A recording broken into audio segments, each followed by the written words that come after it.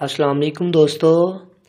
मैं हूँ अजीम महमूद और आप देख रहे हैं मिस्टर इंजीनियर। दोस्तों, आज की इस वीडियो में हम ये देखेंगे कि काडा की हीट गन के अंदर क्या क्या लगा होता है। काडा 852 एस एम डी स्टेशन है ये हमारा, जिसे हम हीट गन भी कहते हैं। इसके अंदर कौन सी ऐसी ऐसी चीज़ें लगी होती हैं, जो हमें एस एम डी कंपोनेंट्स को रिमूव करने में मदद देती हैं। तो दोस्तों, चलिए शुरू करते हैं।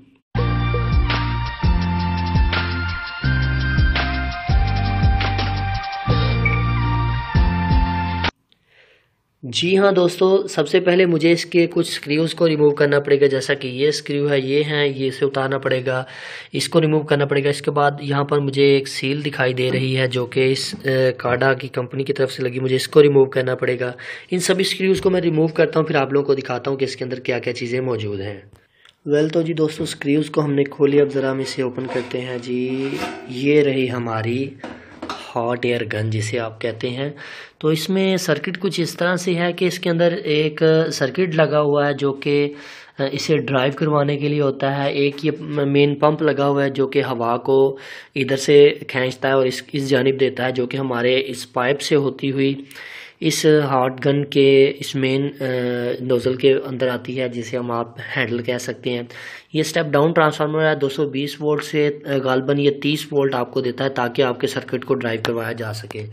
जैसे ही आप इसे ऑन करते हैं तो ये यहाँ से हवा को खींचता है, यानी कि सक करता है, ये देखें।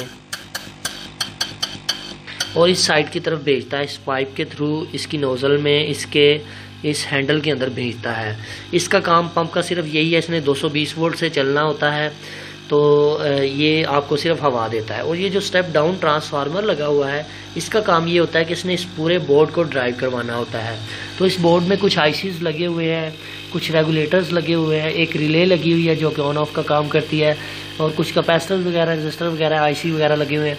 अब इसमें आईसीज का क्या काम है? आईसीज का ये काम है कि जब आप अपनी हीट गन को ऑफ़ कर देते हैं ज़ीरो मोड के ऊपर शिफ्ट कर देते हैं तो इन आईसीस का काम है कि इस, इसने एक थोड़ा सा डिले करना होता है तकरीबन तीस सेकेंड का या एक मिनट का डिले करना होता है जो कि आपको मुसलसल आपको हवा प्रोवाइड करता रहता है जो कि ये पंप इस इस पीसीबी से कंट्रोल हो रहा है। तो ये अभी ये देखिए हीट गन ऑफ़ है मगर फिर भी हीट गन चल रही है मतलब इसी इसकी सिर्फ़ हवा चल रही है। और इसके अंदर से सिर्फ़ हवा निकल रही होगी। तो ये सिर्फ़ एलिमेंट को ठंडा करने के लिए, ये डिले टाइम रखने के लिए आपकी ये पीसीबी इस्तेमाल की जाती है।